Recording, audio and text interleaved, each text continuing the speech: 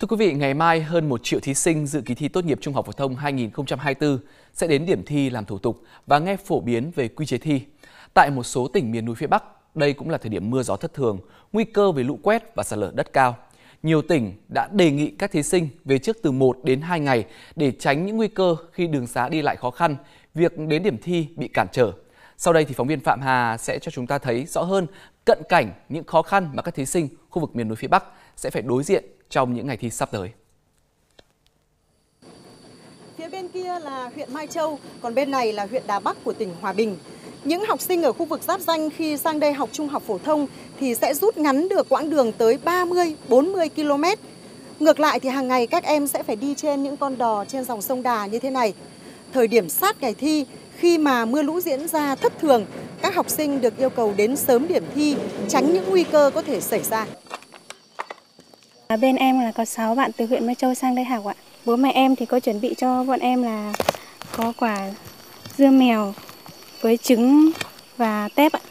Vừa hộp và vừa lo lắng ạ. Để bởi vì bọn em sang sớm để chuẩn bị cho kỳ thi vì bọn em sợ có mưa to, gió hoặc gió to thì bọn em sẽ không qua được thuyền ạ. Trường Trung học phổ thông Yên Hòa là điểm thi nằm ở vị trí khó khăn nhất của tỉnh Hòa Bình. Các học sinh cách điểm thi có thể 30 km đường đồi núi. Ban chỉ đạo thi đã sắp xếp để thí sinh ở luôn trong ký túc xá của trường. Tất cả 105 thí sinh sẽ được ở miễn phí nếu mưa lụt xảy ra. Nhà trường cũng đã lấy được số điện thoại của các bạn thí sinh, của phụ huynh học sinh thì nếu mà có trường hợp mà xảy ra thì nhà trường sẽ trao đổi liên hệ với cả học sinh với như phụ huynh học sinh để làm sao cho cái kỳ thi năm 2024 này diễn ra một cách an toàn hiệu quả nhất. Học sinh trong trường đến gần 90% là hộ nghèo cận nghèo. Bố mẹ còn bận đi làm, không thể đến điểm thi động viên các em. Em đi học ở xa nhà không có thì cũng có một chút khá tuổi thân nhưng mà bố mẹ ở nhà cũng làm vất vả cho bọn em đi học rồi thì bọn em cũng cố gắng để thi ạ. Còn ở trường thì có các bạn và các thầy cô hỗ trợ bọn em. Miền núi thời điểm này có diễn biến mưa lũ thất thường, các địa phương đều phải đảm bảo phương tiện, lực lượng để xử lý ngay những điểm sạt lở, giúp việc vận chuyển đề thi, bài thi và đi lại của thí sinh, cán bộ làm công tác thi được thuận lợi. Kỳ thi tốt nghiệp trung học phổ thông năm nay ghi nhận rất nhiều cách làm của nhiều người dân để ủng hộ cho các thí sinh. Nhiều bạn thanh niên rửa xe gây quỹ, kêu gọi các đơn vị doanh nghiệp ủng hộ suất ăn, nước uống hay phương tiện đi lại cho các bạn thí sinh. Chúng ta sẽ tiếp tục gặp lại phóng viên Phạm Hà để đến với câu chuyện của các thí sinh ở tỉnh Sơn La. Rửa xe máy, rửa ô tô, đây là hoạt động gây quỹ của các đoàn viên thanh niên trường Trung học phổ thông Mộc Lị, huyện Mộc Châu, tỉnh Sơn La nhằm giúp đỡ cho các học sinh trong kỳ thi tốt nghiệp trung học phổ thông năm nay. Nhà trường hỗ trợ điện, nước, địa điểm. Việc của các học sinh lớp 10, lớp 11 này là kêu gọi mọi người đến rửa xe. 20.000 đồng xe máy, 50.000 đồng rửa ô tô.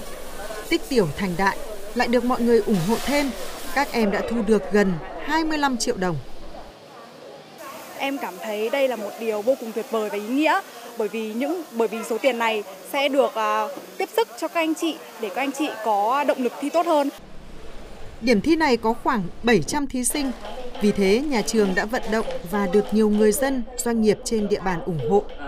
Từ nước lọc đến các món ăn nhẹ sẽ được phát cho thí sinh trong các ngày thi. Nhiều đồng bào dân tộc thiểu số có những hoàn cảnh tương đối là khó khăn và họ từ xa đến đây để thi tốt nghiệp nên là chúng tôi à, làm phụ huynh chúng tôi rất là hiểu cái, cái à, nhu cầu thiết yếu của các con nên chúng tôi đã mang đến đây những cái sản phẩm để à, giúp các con có thể à, à, tự tin để à, vượt qua kỳ thi một cách tốt nhất. Ở giai đoạn nước rút, các thí sinh đang tranh thủ ôn luyện. Giáo viên nhà trường đến tận các nhà trọ, động viên các em, đồng thời tìm hiểu xem có khó khăn gì để hỗ trợ kịp thời. Nhà em thì cách trường hơn 50 cây ạ. Ờ, mẹ em thì đi làm ăn xa, rất là vui khi được các thầy cô đến ờ, động viên và an ủi, em cũng thấy bớt lo lắng hơn phần nào. À, Sơn La đã chỉ đạo với công an, ờ, bộ đội và các đoàn thanh niên tổ chức các phương án để cho các em khi có bão lũ xảy ra, ví dụ như ngập lụt thì đã bố trí các xe để đưa đón các em trong các đường ngập lụt. À, đối với điểm đã dự phòng các điểm thi dự bị để tổ chức thi khi các khu vực thi đó bị cô lập. Danh sách các thí sinh cũng đã được giả soát kỹ từ số điện thoại chủ nhà trọ, bố mẹ để trong trường hợp khẩn cấp liên lạc gấp. Tất cả đều cố gắng để thành quả 12 năm học của các em sẽ nở hoa trong kỳ thi này. Thưa quý vị, tham dự kỳ thi tốt nghiệp trung học phổ thông còn có các thí sinh là học viên tại các trung tâm giáo dục thường xuyên. Mỗi người một hoàn cảnh, vừa học vừa làm nên cũng áp lực. Có những trung tâm thì thầy cô đã tình nguyện dạy thêm ngày 3 buổi, không lấy một đồng nào. Chỉ mong sao các học viên của mình có được kết quả tốt nhất trong kỳ thi này. Gia đình thầy Thọ cách trường 150 cây số. Thường thì cuối tuần thầy về thăm nhà, nhưng chuẩn bị thi tốt nghiệp, thầy dành toàn bộ thời gian cho việc dạy học. Buổi sáng, buổi chiều và buổi tối hoàn toàn miễn phí cho các em học sinh.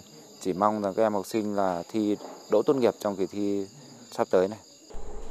Những học viên ở đây phần đông là đồng bào dân tộc Thái, Mường, Giao, Mông. Nhiều người đã đi làm. Đây là những giáo viên tiểu học mới chỉ hoàn thành chương trình 9 cộng 3, giờ phải thi tốt nghiệp trung học phổ thông để đảm bảo các yêu cầu về bằng cấp.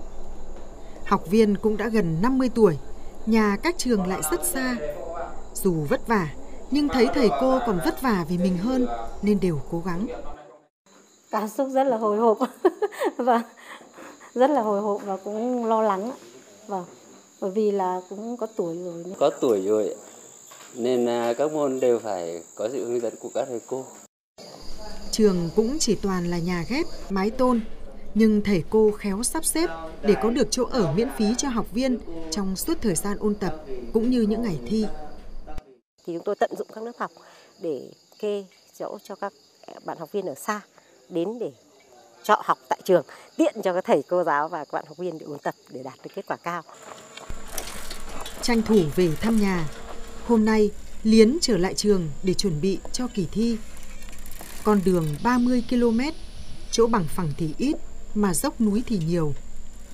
Sức học cũng không phải là tốt, nhưng Liến không bỏ cuộc. Bởi em hiểu, dù khó khăn, nhưng học vẫn là cách tốt nhất để em thay đổi tương lai sau này. Nhà của em năm chị em, em là người đầu tiên bước vào kỳ thi tốt nghiệp lớp 12. Và em cũng sẽ cố gắng để làm gương cho các em ạ. Con đường đến trường của nhiều học sinh trong 12 năm học qua không hề dễ dàng. Những học sinh như Liến sẽ được hỗ trợ miễn phí bữa ăn và nơi ở trong 3 ngày diễn ra kỳ thi tốt nghiệp trung học phổ thông. Đây là những sự đồng hành quan trọng để những học sinh dù khó khăn đến đâu cũng sẽ tham dự tốt kỳ thi tốt nghiệp trung học phổ thông năm nay.